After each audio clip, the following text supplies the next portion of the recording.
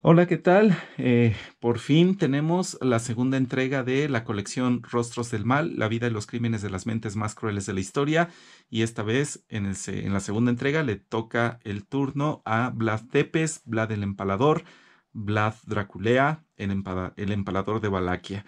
Eh, pues bueno, según se dice, pues es la principal figura histórica que inspiró la existencia de la famosísima novela de Drácula de Bram Stoker eh, él fue pues, la principal figura histórica en la que se inspiró ese autor para escribir el libro de Drácula.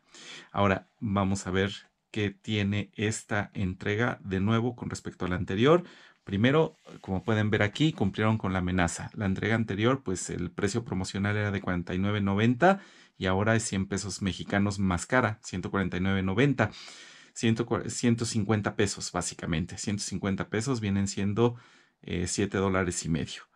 Eh, esto no cambió. Adolf Hitler fue la primera entrega, eh, Vlad el Empalador la segunda y estas deben de ser tercera, cuarta y quinta.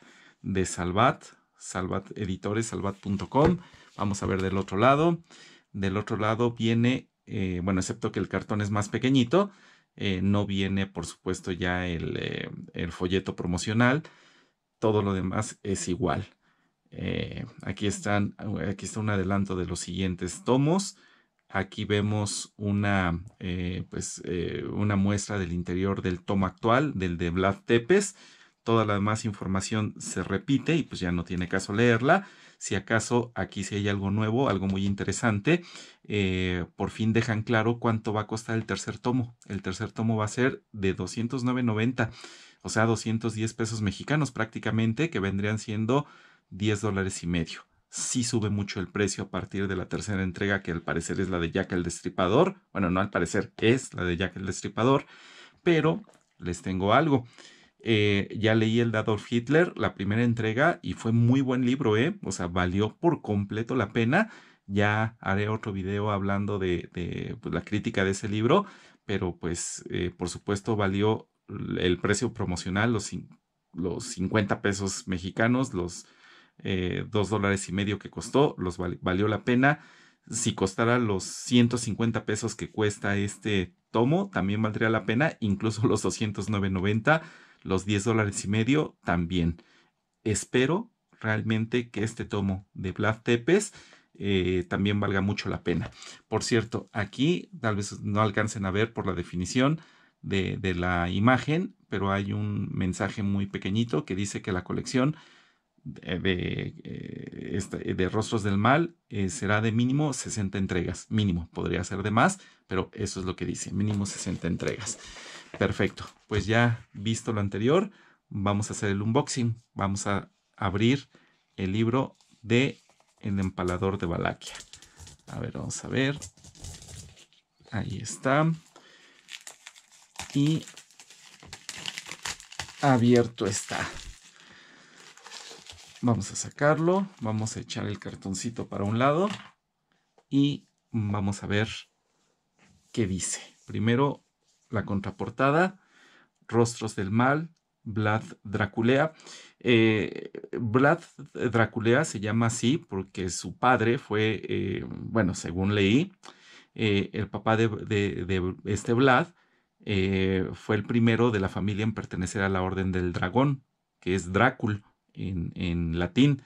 Y Draculea vendría siendo el hijo del dragón, pues porque él no fue, digamos que, el, eh, el que inauguró esa línea de sangre, si, eh, el, primer Drácul, sino que fue el segundo el que heredó el título, y por eso es Vlad, el hijo del dragón. Vlad Draculea ostenta el dudoso mérito de ser considerado el tirano más cruel de la historia. Bueno, lo mismo dijeron de Hitler, por cierto, pero bueno, ahí se van, ahí se van. Se calcula que en los siete años que gobernó en el siglo XV, el príncipe de, Valaquia acabó con la vida de unas 100.000 personas, en la mayoría de los casos mediante la técnica del empalamiento, de ahí su apodo de Vlad el Empalador, célebre por sus imaginativas y despiadadas torturas, así como por el deleite que experimentaba ante la muerte lenta de sus oponentes. Su personaje inspiró el Drácula de Bram Stoker. Este libro repasa la vida del sanguinario Vlad Draculea desde el temprano despertar de su gusto por el sadismo hasta los últimos días de este gobernante que se deleitaba ensañándose con los desdichados que caían en sus manos. Ok, aquí está la parte lateral del libro y ahora vamos a verlo rápidamente por dentro. Igualito hasta ahorita que el primer tomo, no tenía por qué ser diferente. Juan Carlos Moreno, un autor distinto, no es el mismo que el del segundo, que el del primer tomo, ni tendría tampoco por qué serlo. Este relato está basado en fuentes históricas. Advertimos al lector que algunas descripciones pueden herir su sensibilidad. El mismo mensajito que en el de Hitler. A ver, vamos a ver. 2021. Y el índice. La Epifanía de Draculea, capítulo 1, El Hijo del Dragón, capítulo 2, El Bosque del Horror, se refiere pues al, empalamiento de tantas personas que pues, parecía un bosque hecho de puras personas empaladas y muertas, capítulo 3, Auge y Caída, epílogo, bibliografía consultada para la biografía novelada, porque recuerden que estas no son biografías como tales, sino biografías noveladas, eh, salió muy bien el primero, el de Hitler. Como les digo, ya después haré la crítica de ese libro.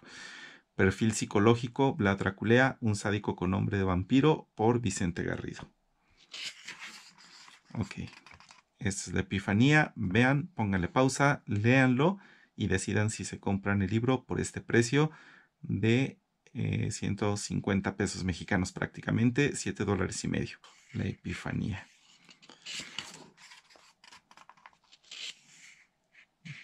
Ok, bueno, pues vamos a pasar las páginas.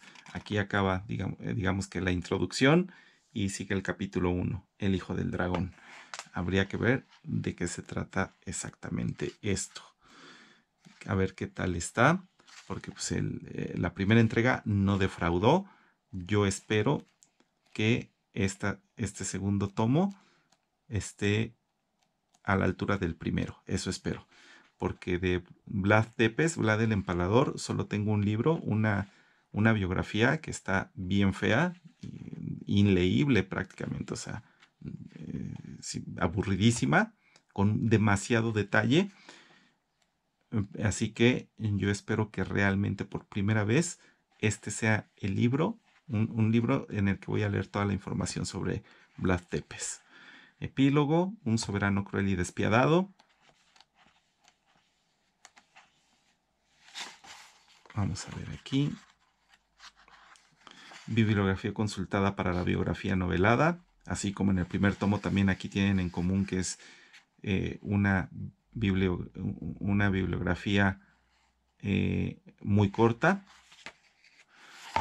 Lo que le placía y lo envalentonaba era ver manar sangre humana, pues tenía por costumbre sumergir en ella su mano cuando no se la servían en la mesa durante sus comidas.